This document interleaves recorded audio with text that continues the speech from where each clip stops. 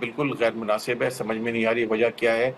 क्योंकि एक तरफ़ से महँगाई बढ़ रही है दूसरी तरफ़ अगर आप जो इनकम है उसको फर्दर स्क्वीज करेंगे यानी टैक्स लगा के तो वो आप एक बहुत बड़ा तबका जो कि टैक्स देता है जी। उसको आप फर्दर पनिश कर रहे हैं। वो ये रहा है कि पाकिस्तान में सब कोई टैक्स देता नहीं है तो जो टैक्स दे रहे हैं सैलरी वाले देते हैं सबसे ज़्यादा देते हैं उनको आप चूँकि वो आपके रिकॉर्ड पे आ जाते हैं उनको आप और स्क्वीज कर रहे हैं। ये आई थिंक बहुत ज़्यादा है और इससे जो तनख्वाहदार तबका है, वो बहुत मुतासर होगा। दूसरी तरफ़ ये है कि broadening the tax base Pakistan में टैक्स की जो कलेक्शन है वो सिर्फ़ नाइन परसेंट है compare nine percent of the GDP जिसको ये बढ़ाने की कोशिश कर रहे हैं। आप जानते हैं कि बहुत सारे हमारे जो कारोबारी हजरात हैं वो इस टैक्स नेट में नहीं है। तो ये फ़र्क जो है ना वो आपने और बढ़ाया है। इससे आप ये इससे इससे काफ़ी रिजेंटमेंट आई है और हमें काफ़ी लोग बाहर जाना शुरू हो जाएँगे और हो गए हैं ऑलरेडी क्योंकि फ्रस्ट्रेशन काफ़ी फैलती है।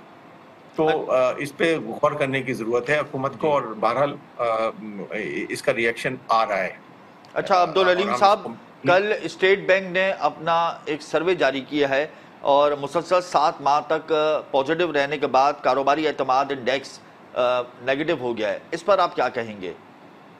देखिए ये कोई नई चीज़ नहीं है ये होना था। इसलिए कि महँगाई जो है बहरहाल बड़ी है कोई अभी आपने इंटरेस्ट रेट की बात की थी ये जो है हमारी बहुत सारी इंडस्ट्रीज़ जो हैं स्टील इंडस्ट्री का आपने देखा कि फंसी हुई है सीमेंट के ऊपर टैक्स लग गया है तो सीमेंट कंस्ट्रक्शन इंडस्ट्री जो है वो थोड़ी सी रुकी हुई है तो आप देख रहे हैं गाड़ियों की सेल जो है थोड़ी सी अभी बढ़ी है लेकिन वो नहीं बढ़ रही है तो क्या चीज़ पॉजिटिव क्या है? मतलब ये कि स्टेबिलिटी तो आई है लेकिन अभी बिज़नेस जो लोगों का कॉन्फिडेंस है वो बहरहाल शेक है। और फिर आप इस बजट में खासतौर से ये जो स्टेट बैंक का लेटेस्ट आया है उसमें काफ़ी हद तक मैं ये देख रहा हूँ कि जो बजट रिलेटेड मैटर्स हैं जो एक्शन है वो बहुत ही हार्श आए हैं काफ़ी इंडस्ट्रीज़ के ऊपर। तो वो सेंटिमेंट में तो ट्रांसफ़र होंगे इस तरीके से? बिल्कुल। और दूसरा एक और चीज़ जो ये है कि सब पे टैक्स लगा दिया गया है लेकिन गवर्नमेंट ने अपने खर्चे कम नहीं किए हैं। तो वो लोग तो बहरहाल समझते हैं और ये यही चीज़ें यहाँ पे रिफ्लेक्ट हो रही हैं कि ना इंडस्ट्री आगे बढ़ रही है एग्रीकल्चर माशाल्लाह बहुत अच्छी हुई है। लेकिन वहाँ पे भी ये हुआ है कि कुछ आपको मालूम है जैसे आपने शायद कहा भी था अभी कि जो फार्मर्स हैं उनको वो प्राइस नहीं मिली जो उनसे प्रॉमिस की गई थी तो उसका भी कुछ रिएक्शन आ रहा है। के मामले तो पर। ये सारी चीज़ें आई थिंक ओवरऑल देखने की ज़रूरत है और सर्वे जो है कोई नई चीज़ नहीं है। आई थिंक जिस, अगर कोई एक्सपेक्ट कर रहे थे कि बेहतर होगा तो वो गलत लोग सोच रहे थे क्योंकि इन हालात में लोगों को कॉन्फिडेंस बिल्ड करने की ज़रूरत है। फिर एनर्जी की प्राइस पे बहुत सारी बातें हो रही हैं आजकल। वो, जो वो दूसरी इंडस्ट्री बात कर रही है वो डिफरेंट है लेकिन बिजली का बिल बहरहाल लोगों का बिज़नेस का भी काफ़ी बड़ा है। तो उसको, उसके ऊपर लोगों को मुतमिन करने की ज़रूरत है।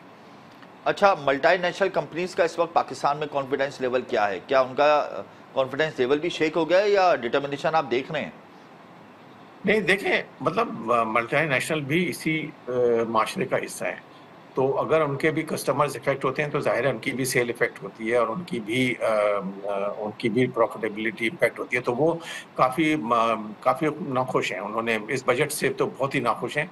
क्योंकि एक तो ये कि पहली दफ़ा मैंने देखा है कि काफ़ी सालों के बाद कि कोई कंसल्टेशन नहीं हुई है। बिल्कुल एफ़ बी आर ने कोई कंसल्टेशन नहीं की है मिनिस्ट्री ऑफ़ फाइनेंस ने नहीं की है, बस वो आई एम एफ़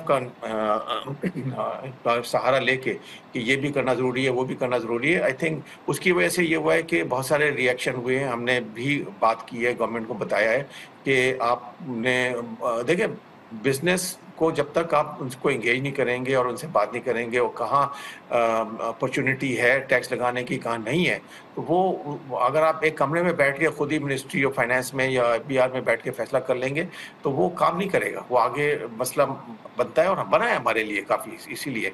तो इसमें हम तफसील में जाने का इस वक्त वक्त नहीं है।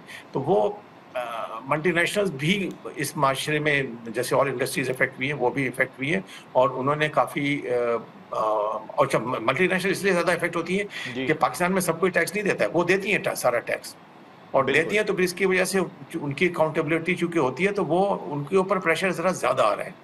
उनकी सेल पर आ रहा है आपने ये मुख्तलिफ़ विथ होल्डिंग टैक्स लगा दिए हैं जो लगे हैं जो अच्छे अच्छे टैक्स हैं मतलब जो इन्होंने नॉन फाइलर्स पे लगाए हैं। लेकिन what is non filer non filer का कॉन्सेप्ट दुनिया में कहीं नहीं होता है। यहाँ पे पता नहीं पाकिस्तान में कैसे इन्होंने लगा दिया अब उसका नतीजा ये हो रहा है कि वो टैक्स जो लगाया है वो डिस्ट्रीब्यूटर और रिटेलर के बजाय वो हो सकता है बहुत जगह बिज़नेस को इफ़ेक्ट